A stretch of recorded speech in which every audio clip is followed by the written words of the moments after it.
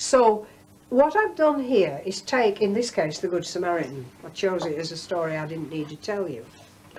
In your work, you'll hardly ever be saying to the children, pretend uh, something very exciting is going to happen today. Instead, you're saying, we've got some evidence and we can guide you to the event. That's what a guidebook is. We are thinking as guides. We can relive for you some of the events of our town. So in writing a guidebook, that's basically, now they didn't actually see the event, but they've perceived and hmm. studied the events. And they've decided that their audience are people who need leading to some understanding. So the whole thinking and the language is geared to the people who buy this. Will this truly guide them? What sort of drawings, illustrations, what sort of layout make them want to look at it? What's the cover? So they don't buy a pig in a poke.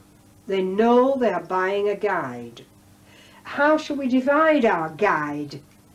So that some people may want this kind of information, some people may want the other. Now what doing a guidebook does is make you sift the history. Mm -hmm.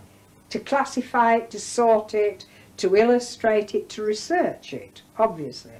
However, if you take the agent stance, you see, the guide can only say, well, I'm at your disposal if you want to be guided. But the agent is in a much stronger position. The agent, for example, is the one that might look like a plumber and comes along and says, well, I'm telling you this now. You'll not get that tapestry dried out here because there's an awful lot of wet rot round here. That's the agent. I must help you understand it. It'll never dry like that. The agent has the authority to say, I must help you understand. Now you can't do that with a guidebook because people can pass it by and say, I don't want to know. So if you set up a situation in your classroom where the children are agents, they are empowered to have more authority.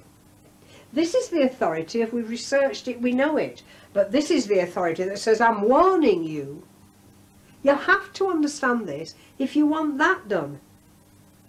So, for example, if they, um, Uh, if, if the tapestry is developed to a point where they're deciding where it could be hung in the town, it would be as agent that they went along to the council and explained what this tapestry needs from you.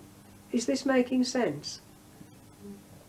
So the way we talk with them we are agents. We've got an audience now, or whoever we intend to be going to meet, where we are empowered to say, listen, this has got to be really understood thoroughly.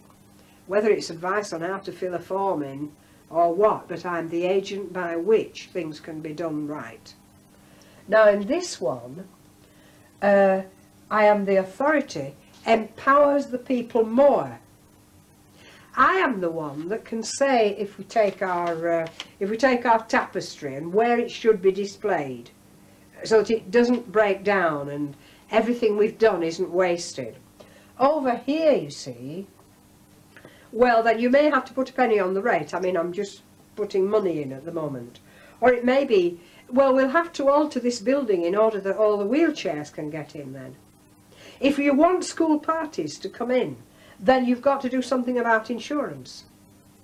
And so the children then at that stage would be concerned. I mean, I've chosen not a very good one necessarily, but in this is, I speak not just for it's very nice to have it hung up now, but think of the repercussions. Are, are, is it going to attract a lot more people to our town? Uh, how, how do we uh, make sure they, they can get to it? How do we make sure it's not vandalised? Results always arise from these decisions and we've got to be sensible. If we come to this, however, then we are scholarly, aren't we? We're looking at this tapestry and saying, yes, I've seen tapestries like this before. Let's compare it with the Bayeux tapestry. And so you get this critical comparison between one thing and another. You may walk around your town uh, preparing your guidebook, should that be what you want to do. And we critically look at illustrations we have of other Roman heads or other Norman names and so on, and the critical element of comparison uh, is, is enabled, you see, uh, whereby you, you stretch them to look further. The critical element would come very much into the way the tapestry was developed, uh, when we have to fill in what, what needs doing. Now all these are aspects of different kinds of empowerment. You see, the artist, one might have uh, the legend that is now, you know, sorted out a bit, but as artists, people may come along and start transforming that legend into another work of art. Is it to be danced? Would it make a theatrical production? Would it teach us a fifth year how to write a play? Uh, does that make a little bit of sense to you? I have spoken it to you. I've spoken it. But it's quite tricky to master it. But it starts with just this simple seeming thing of, okay, if I'm going to have a meeting of the Historical Society, I'll write Historical Society and put it on the table. That's the first venturing in.